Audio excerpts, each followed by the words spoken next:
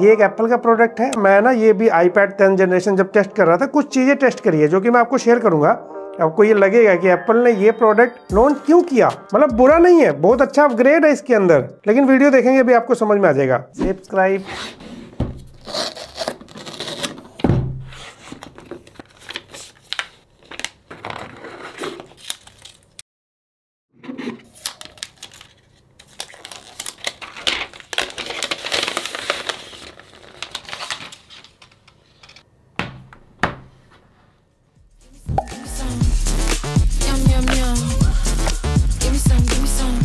अब बात करते हैं इसकी। Last time iPad ninth generation याद होगा आपको एक्चुअली ये वाली जो सीरीज़ है ना इनकी, ये सबसे ज़्यादा मतलब वैल्यू फॉर मनी में चली जाती है। थर्टी थाउज़ेंड के आसपास आता था, क्योंकि आपको पता कि तीस हज़ार से नीचे भाई एंड्रॉइड में कुछ ऑप्शन है बट जब बात आती है परफॉर्मेंस की या लॉन्ग टर्म में ऐसे मतलब जिसपे ज़्यादा यूज़ किया जा सके रिलायबल हो सके, आप तो वहाँ पर आईपैड की मैं हमेशा तारीफ़ करता हूँ। बट अगर आपका बजट तीस तक है तभी। उसके बाद फिर बहुत सारे आईपैड आते थे। बस फ़र्क यह था कि उसमें वो लोग डिज़ाइन अपग्रेड नहीं कर रहे थे, लेकिन नाइन्थ जनरेशन का परफॉर्मेंस वगैरह बिल्कुल अच्छा है। अगर आपके पास लिया है डोंट वरी इस वीडियो के बाद आप खुश होने वाले हो। जय हिंद दोस्तों, क्या हाल है? सो so फाइनली ये है आईपैड टेंथ जनरेशन यहाँ पे काफ़ी सारी चीज़ें अपग्रेड क्या की गई, जो कि होना ज़रूरी था। जैसे नाइन्थ जनरेशन में लाइटनिंग पोर्ट आता था, जैसे अभी भी आईफोन में आता है। यहाँ पे टाइप सी एड कर दिया गया है। लेकिन यही इसकी अच्छाई भी है बुराई भी है बताता हूँ क्यों। कैमरा यहाँ पे इंप्रूव कर दिया गया है, जो की प्रैक्टिकली फील भी होता है। डिज़ाइन को बेहतर कर दिया गया जो की देख के लगता है। भाई, पहले वाला देखा ही था आपने, अभी के डेट में अगर बात करें तो ये आईपैड एयर वगैरह जो सीरीज़ आती है, उससे मैच करता हुआ ये होम बटन भी हटाया जा चुका है, अभी आ चुका है फ़िज़िकल फिंगरप्रिंट स्कैनर ऊपर की साइड में है और बेजल्स वगैरह भी पहले से कम किए जा चुके हैं। बेसिकली मॉडर्न सा स्टाइलिश सा दिखता है अभी ये आईपैड पहले थर्टीन था, अभी ए फोर्टीन बायोनिक है तो इसका मतलब परफॉर्मेंस भी काफ़ी बढ़िया होने वाला है। एक और चीज़ काफ़ी सही कर दिया गया कैमरा पोजिशन अभी आप फाइनली लैंडस्केप मोड में वीडियो कॉलिंग कर सकते हो। तो अभी ये ज़्यादा सही पोजिशन पे आ चुका है। इसकी वीडियो क्वालिटी और ये इसकी ऑडियो क्वालिटी है। और मुझे लगता है आईपैड से कभी शिकायत रही है online meeting chatting video call इन सब चीज़ों से। और ये मेन कैमरे से वीडियो शूट हो रही बाय द वे ये वाला आईपैड टेंथ जनरेशन फोर के तक वीडियो शूट कर सकता है। लेकिन यहाँ पे मेनली ऑडियो का अंदाज़ा लगाइए आप। बाकी ये सब नोट्स लेने वीडियो शूट करने के लिए होते हैं। मतलब ऐसे प्रॉपर प्रोफेशनल्स के लिए नहीं होते कैमराज अपना काम ही बढ़िया करता है। इस आईपैड में फ्लैश नहीं मिलता, जो कि होता तो बढ़िया था पीछे साइड और साथ में ज़रूरी बात ये बता रही थी कमेंट सेक्शन में जो ऐसे ऐसे स्कैम चल रहे हैं टेलीग्राम पे बुलाते हैं, आपको लूटते हैं, ऐसे ऐसे से बच के रहिए। ये मैं बार बार बताता रहता हूँ आपके इन्फॉर्मेशन के लिए। और एक और फ़र्क है, जो कि उनके काम आएगा, जो कि सेलुलर मॉडल लेते हैं, जिसमें सिम लगता हो, क्योंकि नाइन्थ जनरेशन फाइव को सपोर्ट नहीं करता टेंथ जनरेशन आपका 5G भी सपोर्ट करेगा फ्यूचर में। तो इतने सारे मेजर अपग्रेड्स अगर आप देखोगे। और मैं एक और चीज़ देख रहा था यहाँ पर, अगर एप्पल की वेबसाइट पे जाके देखते हैं हम लोग सो यहाँ पर अभी देखोगे, सबसे एडवांस वाला इनका आईपैड प्रो है। ज़ाहिर सी बात है एट्टी का है। फिर आईपैड एयर है, जो की सिक्सटी थाउज़ेंड का मिल रहा है। आईपैड टेंथ जनरेशन जिसकी हम बात कर रहे हैं, ये फोर्टी का है। और iPad ninth generation thirty four thousand और आईपैड मिनी फिफ्टी थाउज़ेंड। ये ऑफिशियली शो कर रहे हैं। यहाँ आईपैड एयर फोर्थ जनरेशन नहीं है आईपैड प्रो भी जो एम वाला था, वो भी शो नहीं कर रहा है। एक चीज़ आपने और नोटिस किया क्या? इसका प्राइस बढ़ चुके हैं भाई आईपैड के सारे। और सभी के प्राइस बढ़ा दिया आईपैड नाइट जनरेशन से लेके ऊपर तक के। ये सिर्फ़ एप्पल कर सकता है कि मतलब पुराने आईपैड के भी प्राइस बढ़ा रहे हैं, मस्ती है देख लो। लेकिन दुख की बात यह है कि भाई ट्वेंटी में ये आईपैड आ रहा है और सिक्सटी जीबी शुरू होता है। मतलब एप्पल को इतना नहीं पता कि इन अपग्रेड्स के साथ इसमें वन जीबी मिनिमम शुरू कर देना चाहिए। तो ओवरऑल इस आईपैड के साथ एक स्टोरी जा चुकी है कि ये एक बजट आईपैड है। तो बजट लिस्ट से तो आप इसे बाहर निकाल दो। जैसे बजट लिस्ट से बाहर निकला ना, मैं इसे आईपैड की लिस्ट से बाहर निकालना ज़्यादा बेटर समझूँगा। अब बताता हूँ क्यों? रीजन सबसे पहले ये देखने में बहुत मज़ा आता है कि भाई इसके अंदर टाइप सी दिया हुआ है। वाह बहुत सही है। क्योंकि इसकी मदद से हम डायरेक्ट आप अपना नॉर्मल चार्जर से चार्ज कर सकते हो। या फिर जैसे कोई भी एसएसडी या कुछ भी कनेक्ट करना हो, वो कनेक्ट हो जाएगा। इसको डायरेक्ट यहाँ कनेक्ट करके तो आप इसको इजिली मॉनिटर पे सेटअप कर सकते हो और अपने काम कर सकते हो। वो भी फोर के आउटपुट है तो ये सब बहुत अच्छा है। लेकिन अभी क्या है कि प्राइस क्या इसका? फोर्टी फाइव थाउज़ेंड याद रखिएगा, जो भी मैंने प्राइस बताया, तीन हज़ार का H D F C card discount मिलता है, जो कि मैंने भी लिया है। कंसिडरिंग प्राइस इसके अंदर जो टाइप सी दिया ना, ये जिस प्राइस पे आ रहा है ना, ये जो जनरेशन दिया ना टाइप सी का एप्पल ने, इसके एक बार खुद स्पीड देखो। यहाँ पर आईपैड प्रो सिर्फ़ कंपेरिजन के लिए दिखा रहा हूँ, उसका प्राइस डेफिनेटली ज़्यादा है। स्पीड चेक करने के लिए एक्सटर्नल एस से हम लोग एट पॉइंट फोर जीबी के आसपास यानी कि लगभग साढ़े आठ जीबी कॉपी करने जा रहे हैं। यहाँ पे आईपैड प्रो लेता है 15 to 20 second iPad Air fifth generation वाला, इसको लगता है ऑलमोस्ट 40 टू 45 सेकेंड और यहीं पर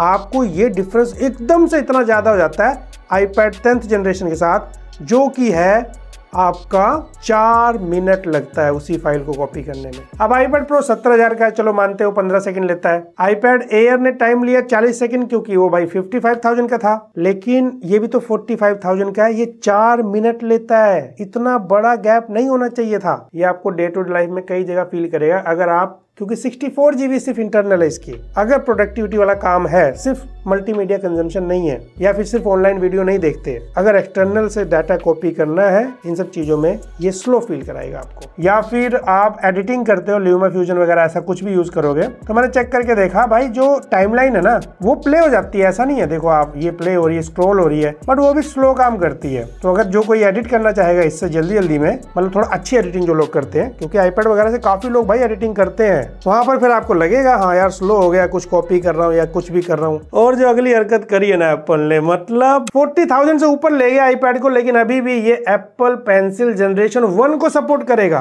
टू को करता ही नहीं है। तो ये हरकत बिल्कुल मुझे फायर बोल्ट वाली लगी, या फिर डिलीवरी कुरियर सर्विस मेरे पास एप्पल पेंसिल जनरेशन वन नहीं है। सेकेंड जनरेशन वाली है मेरे पास, और इसी का सपोर्ट होना चाहिए था इसमें। कितना आसान होता ना, भाई यहाँ रखा, ये चार्ज होने लग जाता, फिर जो भी काम करना था आप करते, फिर लगा देते चार्ज होता। बट नहीं होगा, क्योंकि ये इसे सपोर्ट ही नहीं करता। आपको वही लाइटनिंग पोर्ट वाली एप्पल पेंसिल लेनी पड़ेगी। एप्पल पेंसिल काफ़ी सारे लोग बाय करते हैं आईपैड के साथ। उसके बाद अभी दुख खत्म नहीं हुआ आपका? क्योंकि उसमें लाइटनिंग पोर्ट है, इसके अंदर टाइप सी पोर्ट है। तो आपको एक डोंगल अलग से खरीदना पड़ेगा। Type C to lightning port होगा। उसमें ये एप्पल पेंसिल ऐसे लगती है। आपको लगेगा, मैं मज़ाक उड़ा रहा हूँ बट प्राइस सोचो ना। आप एप्पल पेंसिल का प्राइस और ऐड कर लो 9500 डोंगल का नौ सौ रुपए और ऐड कर दो। 50,000 से ऊपर में ये काम कर रहे हो आप सोचो। बस एक फ़ायदा है अगर आपके पास ये वाला आईपैड नाइन्थ जनरेशन है उसकी एप्पल पेंसिल इसमें आप यूज़ कर सकते हो। अपग्रेड करोगे इन केस मानो ना मानो एप्पल अभी ट्रूली मनी मेकिंग ब्रांड बन चुका है थैंक्स टू टिम कुक तो पहले आप आईपैड लो उसके बाद एप्पल पेंसिल के साथ एक कनेक्टर लेके घूमो उसके बाद आपने जो टाइप सी पोर्ट दिया, उसमें स्पीड भी कम दे दी। रेट से मुझे शिकायत नहीं है, अगर ये दो चीज़ें सही कर देते हैं ना बिकॉज़ मैंने फिर कहा आईपैड परफॉर्मेंस के लिए जाने जाते हैं, बहुत सारी अच्छी चीज़ें होती हैं सॉफ्टवेयर के लिए जाने जाते हैं। परफॉर्मेंस और सॉफ्टवेयर के मामले में भाई, ये भी पीछे नहीं है। आपको यहाँ पे बढ़िया, मस्त फास्ट परफॉर्मेंस मिलेगी, आप गेमिंग भी अच्छी कर सकते हो, आप अपने सारे प्रोडक्टिव काम कर सकते हो, वो सब मिलेगा। तो परफॉर्मेंस वगैरह अच्छा है, लेकिन याद रखना, कुछ चीज़ों में ये जैसे मुझे दिखा, यहाँ पर अभी भी स्टैक फीचर नहीं है।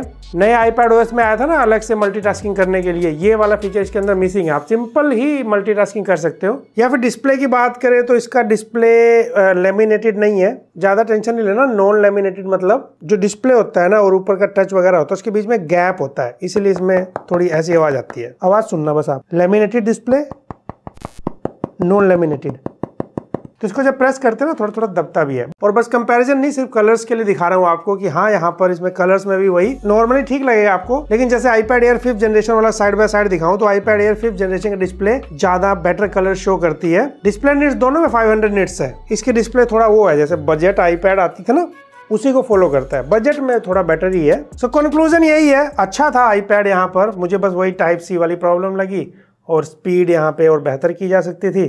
क्योंकि हमारे पास, अगर या तो ऑप्शन नहीं होते, जब हमारे पास, हमें पता है, हम लोग फोर्टी फाइव थाउज़ेंड इन्वेस्ट कर रहे हैं तो थोड़ा बहुत मैनेज करके ऑफ़र वगैरह में आईपैड भी सस्ते होते हैं, थोड़ा वेट करके आप सेकेंड जनरेशन पेंसिल सपोर्ट करने वाला आईपैड लीजिए कोई भी। अगर आपके लिए वैल्यू फॉर मनी प्रोडक्ट चाहिए तो सीधा लीजिए ना आईपैड नाइन जनरेशन ये कर क्या रहा है मार्केट में, मुझे समझ नहीं आया। एप्पल ने अपने बिज़नेस पॉइंट ऑफ़ व्यू से तीस हज़ार से लेकर अस्सी हज़ार के आसपास एक एक आईपैड ला के रख दिए कि आप कोई ना कोई तो लोगे। बट ये वाला मुझे थोड़ा सेंसिबल नहीं लगा। तो मेरा कोई हेट नहीं था इस प्रोडक्ट के लिए। मैंने बाकी आईपैड की तारीफ़ भी करी है पूरी वीडियो में। लेकिन अब भाई नहीं पसंद आया, मुझे सेंसिबल नहीं लगा तो बता दिया आपको। आई होप आपको वीडियो पसंद आएगी वीडियो पसंद आए तो लाइक से सब्सक्राइब करिए।